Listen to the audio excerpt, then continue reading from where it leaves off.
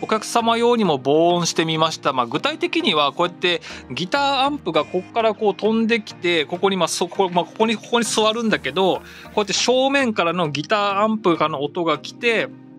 まあ、ここで聞くわけですけど、やっぱりね、この裏側、こう、吸音材入れてみました。この要、ここにね、吸音材入れてみました。ここにも。だから、こう、お互いにこうして、なんていうの？こう後ろにもこうやって壁を作るいわゆるこのスピーカーみたいなスピーカーここスピーカーが飛んできて音をここ反射反射っていうか反射しないように吸音材貼ってるみたいな感じでこうやってやってみたんでまあこっちもは例外じゃないかなと思います。でやっぱやってみた結果特にギター特に歪ませた時ね歪ませてソロ弾く時とかって音がカーンってこう飛んでくるんだけど音が飛んできた時にやっぱりこの反射音が少ないのか明らかにその耳に痛くないっていうかやっぱりその反射してない分なんかこのなんか前からしか音が出てきてないって感じがするっていうか逆に言うと、まあ、防音にもつながるんですよ、まあ、シャッターから、まあ、シャッターってこもう外だからシャッター開けたらね外になっちゃうからそういう意味では、まあ、まあ言ったら外に音が漏れて、まあよろしくない結果になるわけじゃないですか。防音っていう意味では、またうるさいっていう意味ではね。それを、やっぱりこう防止できたなって気がします。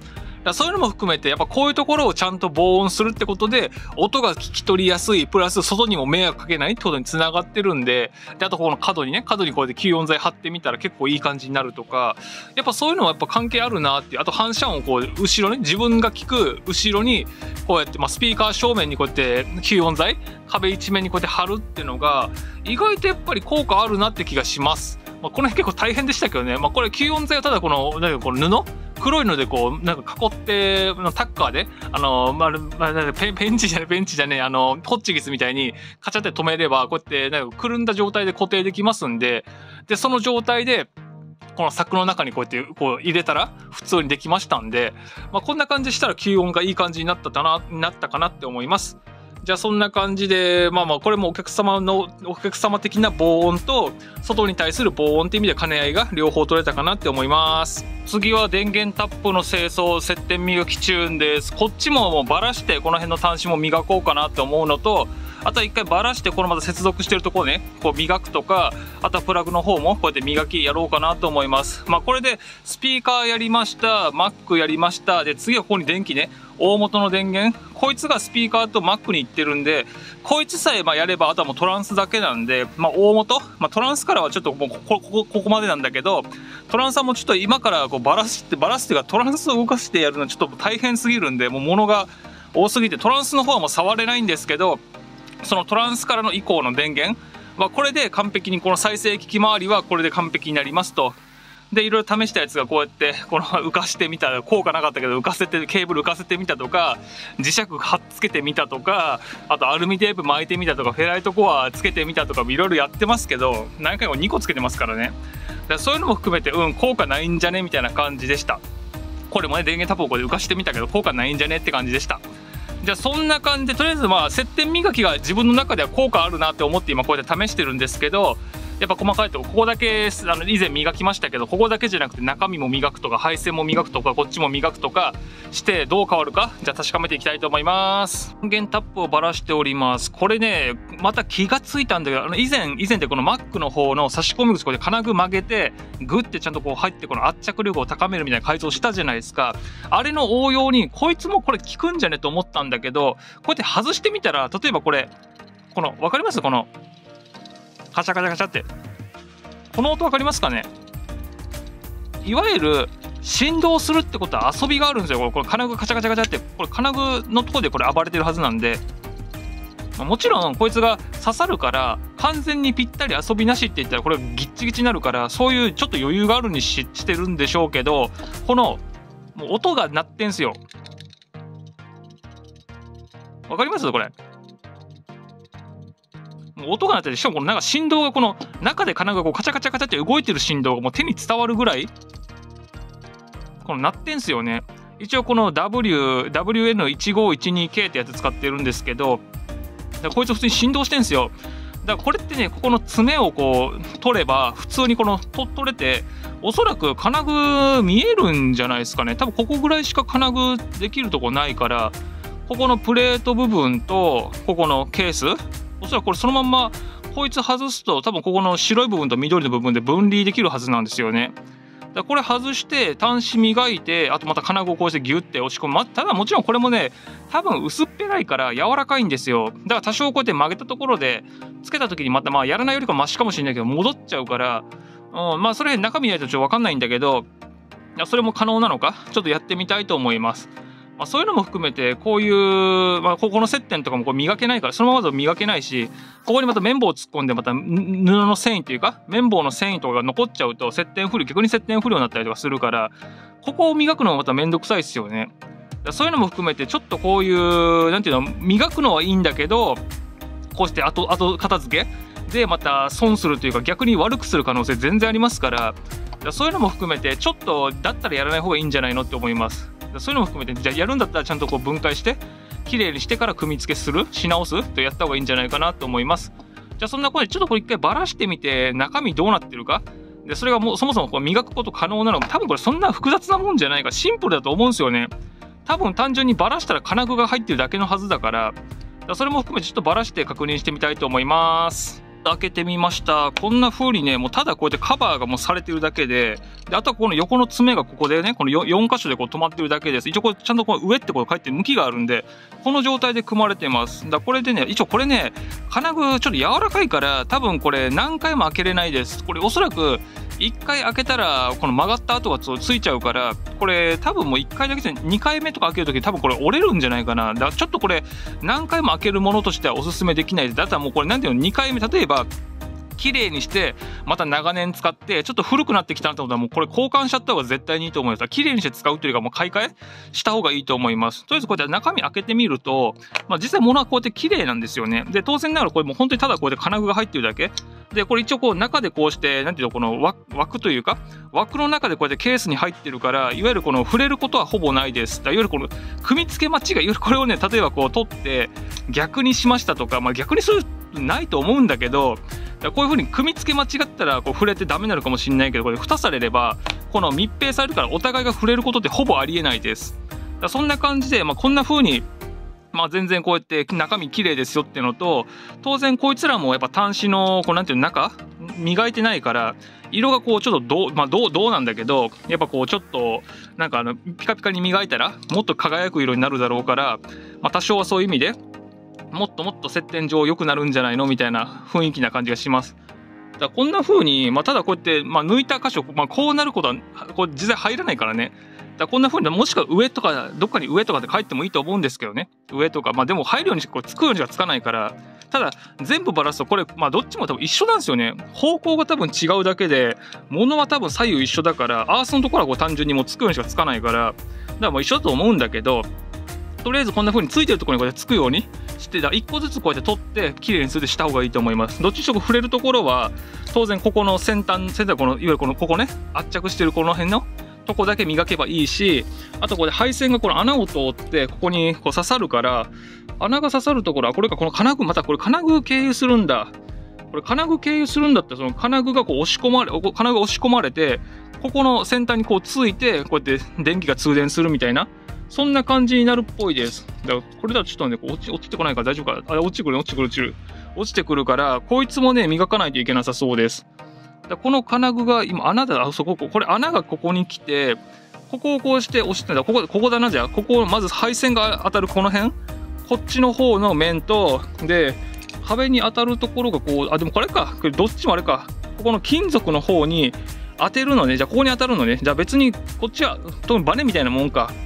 じゃあこっちのあの銀色のところはバネみたいなもんだからこいつがこう壁にこうしてまあ中に配線が入ってこいつのここの銅の塔に押し当ててるって感じなんでじゃあそうっすね。えっとじゃあこの銀色のこの部品は関係ないと。じゃあこっちだね。ここの面をここのここね。このあこのザラザラしてるね。じゃあここを磨けばいいんですね。っていう感じです。このザラザラどうなんだろうな。接点っていう意味では良くないかもしんないけどただこのガガサガサをこう削り落とすのもどうかと思うしこいつはまたちょっと曲げてね曲げてちょっとこう内側に寄せてきつくするとかすればよりよりよくこう引っかかるからまあそうですねここの穴ここの穴から通すからねこうしてね見れば分かるんだけどだこの辺もまあ向きはおそらく全部一緒だからまた向き間違えないようにねとかねそういう意味では間違いようがないとは思うんですけど、まあ、とりあえずこんな風にして動画撮るなり写真撮るなりして、こんな風についてますよってことを覚えとけば、組み付けも簡単じゃないかなと。だこれで入るようにしか入んないと思います。でそんな感じでこれからこう磨き作業していきたいと思います。石に磨いてみました。まあ、磨いてるところはもう単純にこの当たるところと、ここの配線がこうぶつかるところだけなんですけど、公式ね、まあ、実は今綺麗にしたっていうのもあるんだけど、実は磨いてなくてもね、パーツクリーナーで洗うだけでも結構ピカピカします。だこの辺の酸化してるの多分酸化してんじゃないですか。この色濃いじゃないですか、明らか。でもこうして、このさアルコールっていうかね、パーツクリーナーで洗うと、こうしてピカピカするんですよね。で、これちゃんと磨くと、これここ、ここしか磨いてないんだけど、なんかこう磨きがすごい、なんていうのか、テカテカしてるっていうか、わかります？この辺はただもう色がなんか、薄くなったっていうか輝いてるって感じだけど磨いたところはちゃんとこうテカテカしてるっていうかこうちょっと見づらいんだけどね光が当たればわかるかもしんないんだけどまあこんな風にね、こっちの方は結構綺麗になってますと。で、あとこっちのね、当たるとこ、配線が当たるところもこうやって綺麗にしましたと、このゴツゴツしてるとこね、綺麗にしましたと。あとはもう綺麗に、またピカピカにして、ピカピカっていうか、このコンパウンド、汚れ取っちゃえばもうこれで OK です。じゃあそんな感じでね、まあ、こんな風にして綺麗になるんだよっていうのと、でどうしようねって思うのが、こいつをこうして入れた時にこうカチャカチャなるっていうのはこう遊びが多いんですよね、言うたら。こんな風にしてね。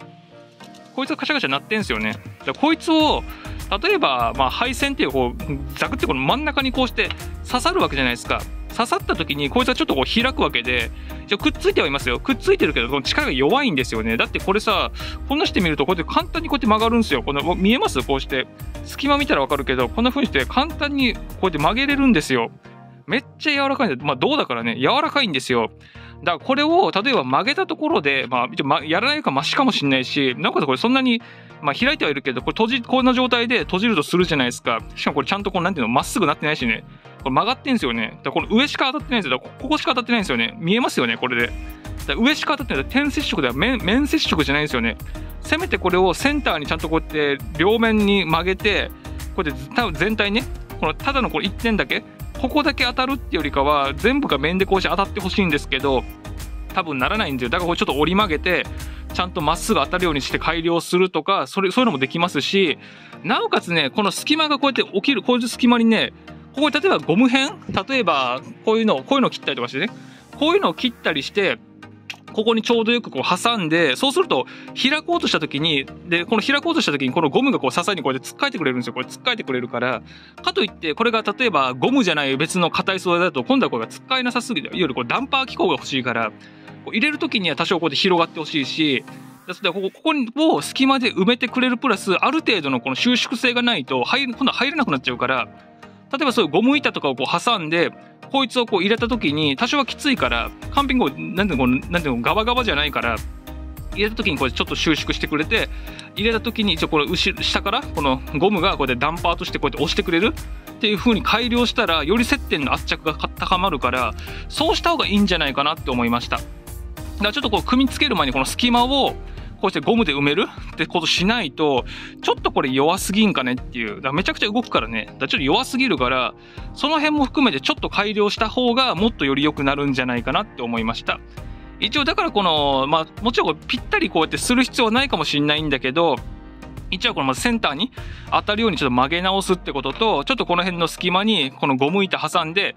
そういうダンパー機構を設ける圧着力を高める改造して組み付ければより良くなる電源のコンセントになるんじゃないかなって思ったんでじゃそれをま磨いた後にそれで組み付けして試してみたいと思います。調整してみました。こんな風にどどこだってどこの面ちょっと見せたか覚えてないんだけど例えばこんな風にしてこれは若干こうやって開いてるじゃないですか。これをこうやって押した時にこうしてこうやって面で当たるようにね、まあ、面ってこれ結局あので何出っ張ってるっていう結局点でしか当たんねえんだなってこうこれやってみて分かりました。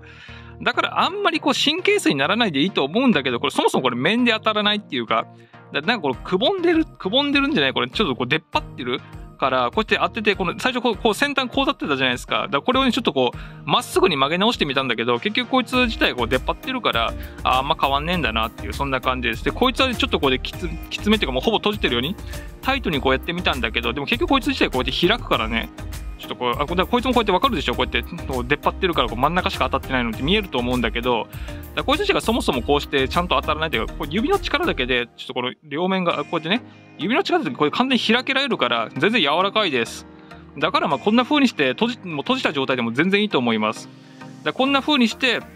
閉じ切った状態で組み付ければ、多少はマシになる。もう結構こう、開いてるから、元が結構開いてるからね、多少は硬くなるんで、まあこれで、まあよくはなるんじゃないのって思います。じゃあその辺は、まあまあ参考程度にやってください。じゃあその辺、じゃあどここっちね、この辺もね、磨いてこっちは別にあの、結構バネみたいなもんなんで、ここは別にいいと思います。じゃあ、あとこの残り2つ磨きたいと思います。組み付け完了しました。ちょっとね、このきつくしすぎたかな。マイナスのところだから正直そんなになんかタイトにしなくていいと思ったんだけど、こうやって元のと比べたら全然違う。まあ別にこっからでも穴広げられるけどね、ちょっときつすぎたかなって思います。で、こうやってダンパー入れてみ、ダンパーってゴムの板ね、ゴムの板切って入れてみたんだけど、実際こうやってちゃんと刺さるかね、まず刺さるかどうかっていうのをチェックしたいですよね。一応これつけるときも、まあ全然、まだ全然いけると思うんですけど、ただこれ何回もこれやり、なんだろう、こう付け外しするとこれ多分絶対ダメだから、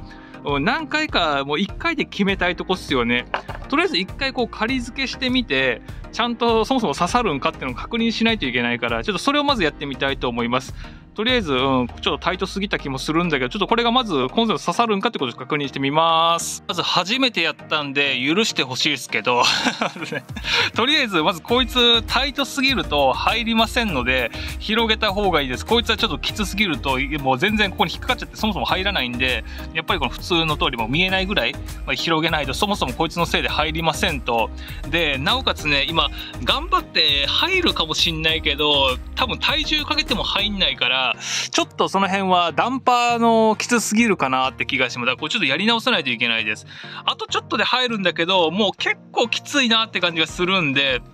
だすごい、まあ、圧着力って意味ではすごいんだけど、まあ、実際これ通電してるとは思うんですけど、これもう出づらいとか、もう抜きづらいっていうのもそうなんだけど、これがね、ちょっと例えば今こうして、こうしてみたらいいかな。ちょっとこれで今やってみますけど、めちゃくちゃ硬いんですよね。だこれを例えばこうして、途中までは入るんだけど、もうこれ以上入らんなって感じです。だからお互いにね、こいつも、こいつもこんな感じで、もうあとちょっとなんだけど、そのあとちょっとが入んないから、ちょっとダンパー詰めすぎたかなって感じがするんで、ちょっとその辺をまた分解して調整します。まあ大体これぐらい入れりゃいいんだなっていうのがなんとなくこれで分かったから、まあ、今回初めてだったからもうしょうがないんだ。もう何でもトライアンドエラーなんでしょうがないんですけど、こんな感じでちょっとやりすぎだなって、今今回のやってみて、あ、これやりすぎなんだ。じゃあもう少し減らせば入るかなっていう。で、あまりにもやらなかったら意味ないかなとか、まあ実は意味ないっていうか、実は通電するレベルには持っていけるからいいんだけど、あ、これやりすぎなんだなっていう、まず加減が分かりました。じゃあそんな感じでちょっとまた分解して、まあダメだったらこれ買い直しゃいいからね、別に。だそういう意味では安い部品だからなんかいくらでも実験台になるかなって思います。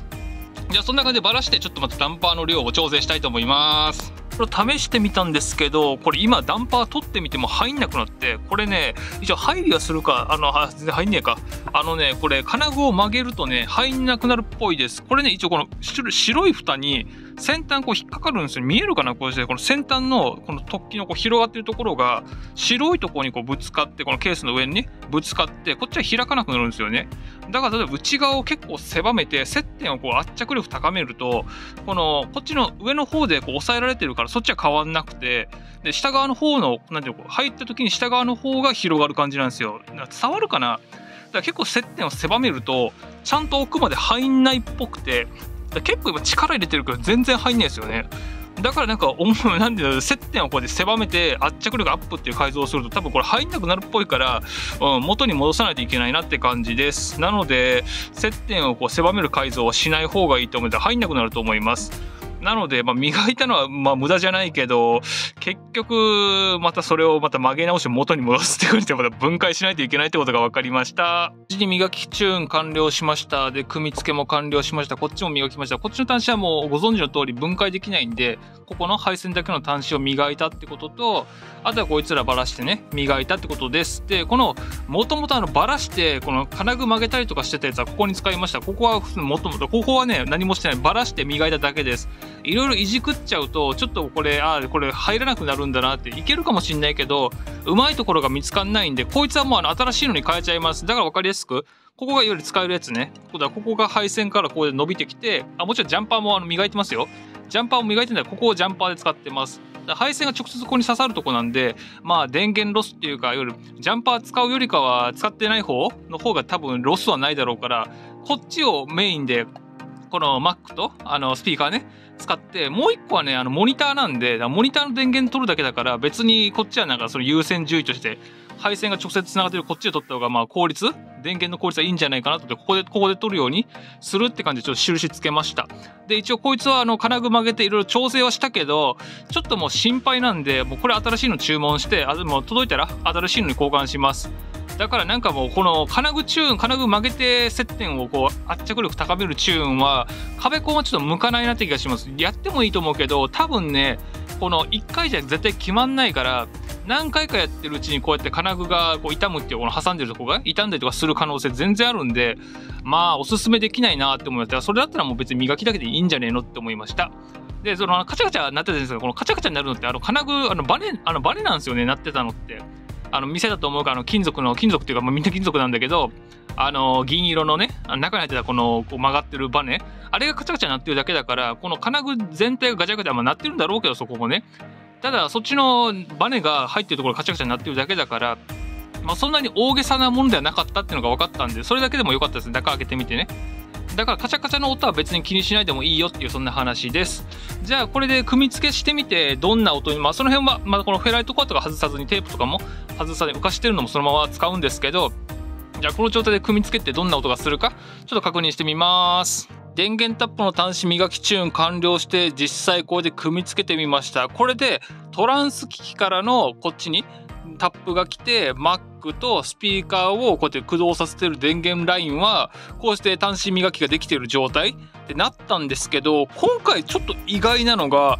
あれ？これもしかしてさっきさっきというそのこっちタップやってない前の方が音良くないかって感じがしてきました。だからこれちょっと謎なんですけど良くなるかと思ったらこうやって音出して聞いてみたらあれ？これ前の方が音良くない？みたいな、まあ、具体的に言うとその、まあ、ボーカルが出てきてなんとかって言ってたじゃないですか。この肺肺がやっぱちょっと伸びてる感じというか音がそのままでちょっとこう艶やか感が増してる。これ気のせいじゃねえなって言ってたじゃないですか。だからそれがね、なんか元に戻ったような感じっていうか、なんか定域が出てきた感じというか、だ気持ちその、おそらくね、気のせいじゃないと思うんだけど、この肺がまた元通りになって、今度はそのローがシフトしてでかくなってる感じっていうんですかね。なんかそんな風に聞こえます。なんかあれ、ローがなんか以前より出てるかなって思ったら、あれちょっとなんか艶やかさが落ちたような気がするな、みたいな。なんか逆に悪くなって悪くなってるって言ったら変だけど、まあ、音変化したとは言えるんだけどなんか気持ちうんパッとしないなってパッとしないっていうかあれなんか思ってたと違うなっていうかきっとこうやって電源ラインがすごく良くなったからなんかもっともっと良くなるもんかと思ったら逆になんかあれ前の方が音良くなかったま、前の方が音良いんじゃないみたいな感じになってます。もしくは何かしらこう端子磨いて音が変わって、まあ、何かしら例えばこのアルミテープ巻いたことが逆効果になってきてるとか、まあ、音がおそらく変化はしてるから音が変化したプラス何かしらこのこうやってあれもあるじゃないですかこの磁石貼るやつとかもそうなんだけどフェライトコアとかもそうなんだけどこの辺の反応がまたよく出てくるとかそれでそれが悪くなってるとかね。だからその反応が良くなってこの辺の小細工がなんか効き始めてきたとかそれで悪さしてるとかあるんすかね。だ例えばもうこれで電源周りはこれで磨けたから今度はこいつら外してみるとかね。外してみたらどうにかなんのかなみたいなことを試そうかなって思います。とにかくね今回ちょっと拍子抜けしました。電源タップ磨いたらなんか磨き損とまでは言わないけど、まあ、やってみたから、まあ、やってみて損はないと思うんだけどなんかやってみたら、うーん、なんか以前に戻っちゃったね、みたいな。別に以前も悪くはないんだけど、良くなるかと思ったら後退したって感じだ。前進したと思ったら後退したって感じの印象があります。だから本当わかんないもんだなっていう。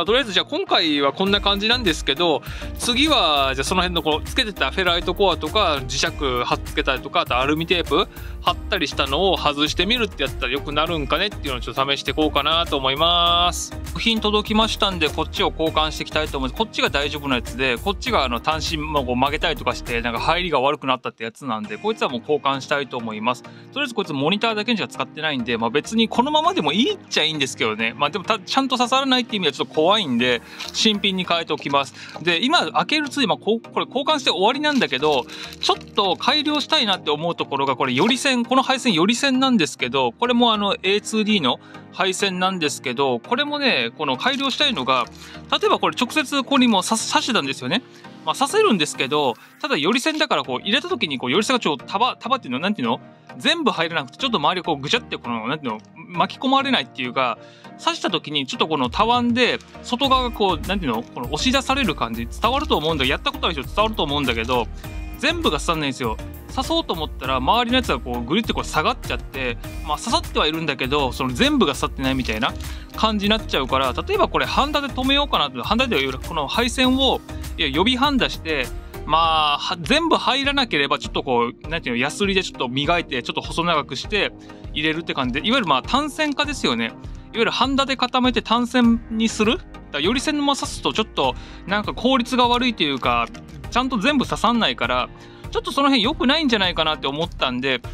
ちょっとそれも含めて、ちょっとハンダ、先端だけ、より線をこうハンダで予備ハンダして突っ込むってことしたらなんか変わるのかなっていう。だからそのままより線で突っ込む方が、まあ電気の導脱としては、いいハンダ使ってない分いいのかもしんないけど、結局ちゃんと全部が刺さんなかったら意味ないんじゃないのって思ってくるんで、だからその辺も含めてちょっと今回はじゃあハンダでこう止めてみようかなと思います。まあ、もちろん使うハンダも、まあ、普通のハンダが一番音いいと思う。音いいっていうか音変えない？あの、余計なハンダあるじゃないですか。まあ、これ名前は言えないけど、あの、音悪くするハンダは世の中たくさんあるんですよ。音が変わるってことは良くも悪くもどっかが崩れてるから絶対良くないから普通のハンダが一番いいと思ってんだけど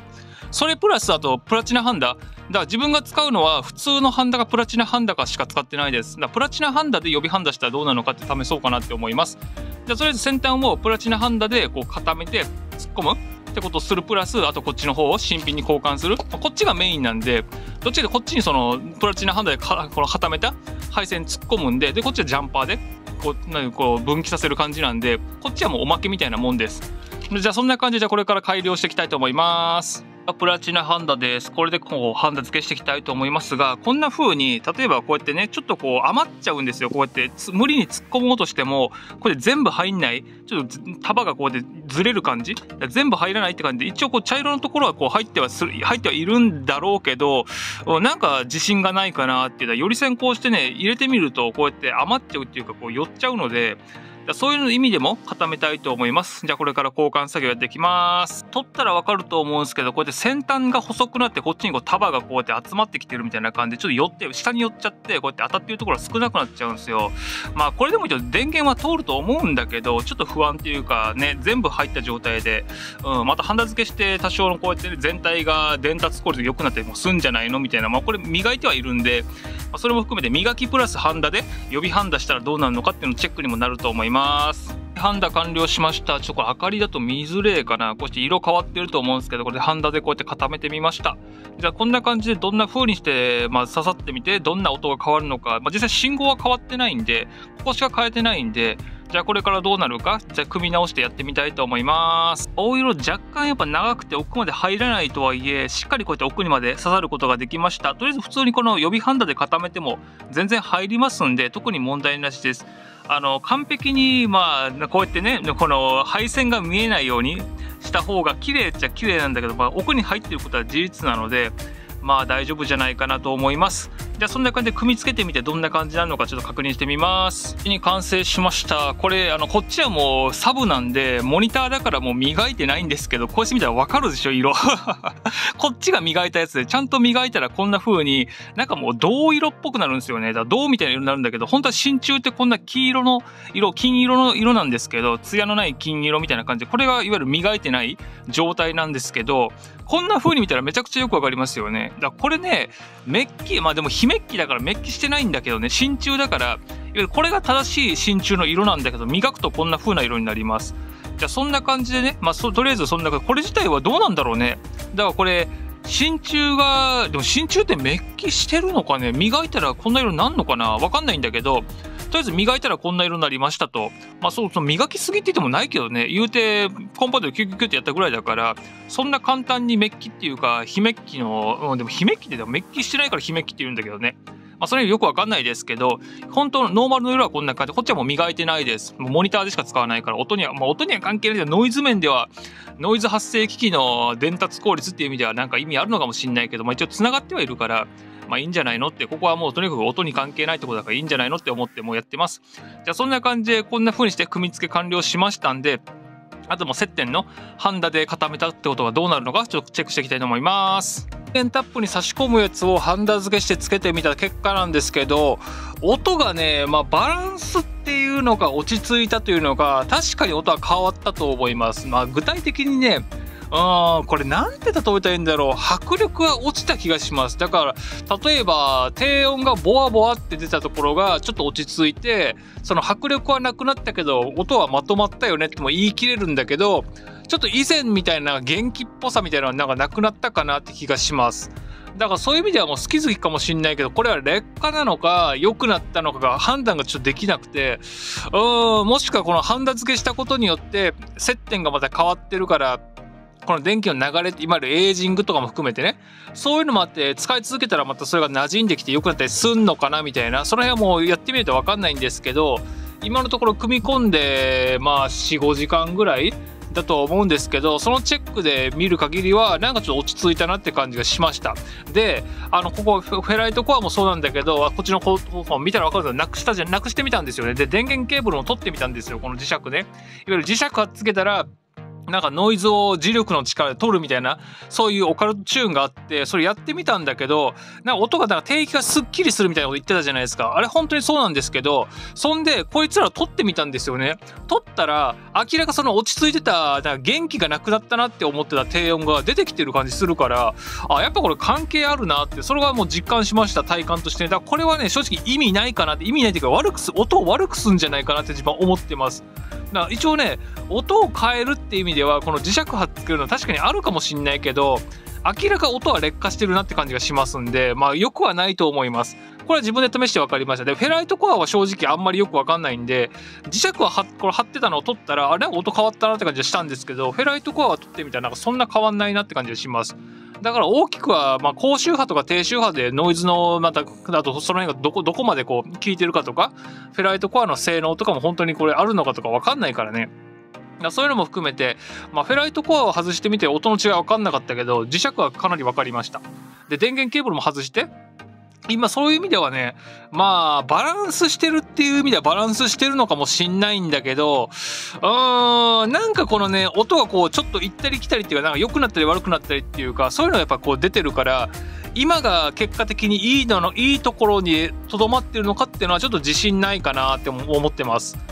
そういうのを含めて結局はもう自分の好き好きだとは思うけどこうやって音がたったこれだけのことで変わるってことはやっぱりそれらがこう重なってくるとどんどん影響がでかくなってくるわけでなおかつ今のこの感じだとこうやって接点をこうやってスピーカーでしょ？この、まあ、プリアンプっていうかまあ再生機能 Mac でしょ？電源タップでしょ？ってやってったら効果は出てきて、なおかつこれ反応って言ったらいいのか、まあわかんないんだけど、こういう風にね、をつけて、うん、いいのかなって感じしてたのが、もう逆に悪い、わ、これ悪かったんだなって気づくこともあるし、とか、やっぱそういう意味では音の影響力がどんどんでかくなってくるとこういうなんか細々とした小細工がなんか効いてくるっていうのかねなんのかなとかあとその元気を失ってるっていうのももしかしてそのアルミテープチューンとか、まあ、こういうところにアルミテープチューンとかあとこれ浮かしてるやつとかが何かしら悪さしてるってことも全然ありえるから特にねあのギターもそうだけどノイズ処理いわゆるあのロータイトとか塗ってあのザグリの中こうロータイト塗ってノイズ除去したら音広域が落ちて音良くないとかってあるじゃないですか。あれと似たような理屈だと思うんですよね。ケーブルにこのアルミテープ巻くとかしててだからそれ巻きすぎてる可能性全然あるからじゃあ今度はそれ取ってみるかとかちょっとやってみようかなと思って。今なんか音に音の元気がうんちょっとなんかよなんか以前はこんな感じじゃなかったはずなんだけどなみたいな。もう少し元気あった気がするんだけどなみたいなのを感じますんでちょっとその辺が今のところ疑問です。だからちょっとまあノイズ面って言ったらこっち正直この環境ってノイズそんな出ないからだからそのアルミテープとか剥がしちゃっても全然問題ないんじゃないのって思ったんで、ちょっとアルミテープ剥がしたらどう変わるか次やってみようかなと思います。今回はそんな感じで一応接点磨きとか接点ハンダ付けとかやってみたけど、まあ、効果はあるんだけど結果的にはまあそれが全ていい方向に行くとは限らないんだなってことを学びました。じゃあそんな感じでまたこういう実験動画とかもいろいろ分かったことはこうやって発信していきますんで、次回も楽しみにしてください。ではご清聴ありがとうございました。